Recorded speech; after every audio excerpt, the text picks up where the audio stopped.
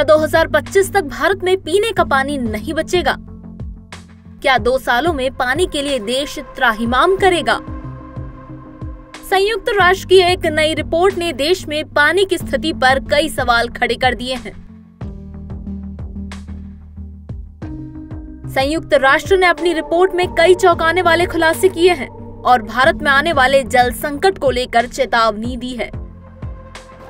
चलिए बताते हैं, संयुक्त राष्ट्र ने अपनी एक नई रिपोर्ट में क्या कहा है, जिससे देश में जल संकट को लेकर सवाल खड़े हो गए हैं। यूएन की रिपोर्ट के अनुसार भूजल की कमी के मामले में भारत में सिंधु गंगा के मैदान के कुछ इलाके खतरे के बिंदु को पार कर चुके हैं, जिससे देश के पूरे उत्तर पश्चिमी क्षेत्र में साल 2025 तक भूजल को लेकर गंभीर संकट का अनुमान है।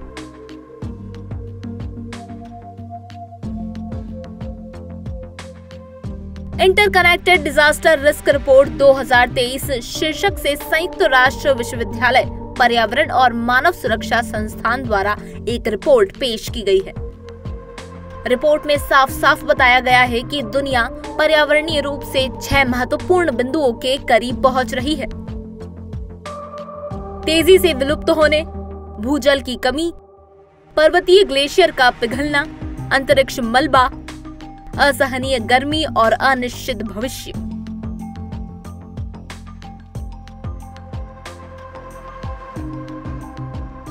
इस रिपोर्ट में कहा गया है कि भारत दुनिया में भूजल का सबसे बड़ा उपयोग करता है, जो अमेरिका और चीन को मिलाकर किए जाने वाले उपयोग से भी ज़्यादा है।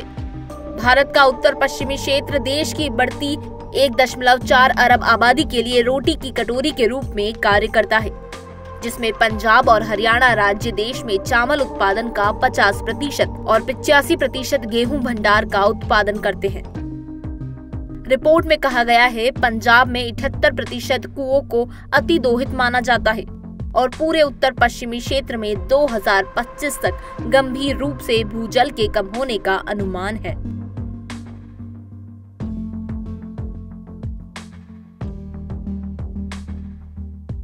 रिपोर्ट में चेतावनी दी गई है कि दुनिया के आधे से ज़्यादा प्रमुख जल स्रोत प्राकृतिक रूप से फिर से भरने की तुलना में तेज़ी से कम हो रहे हैं।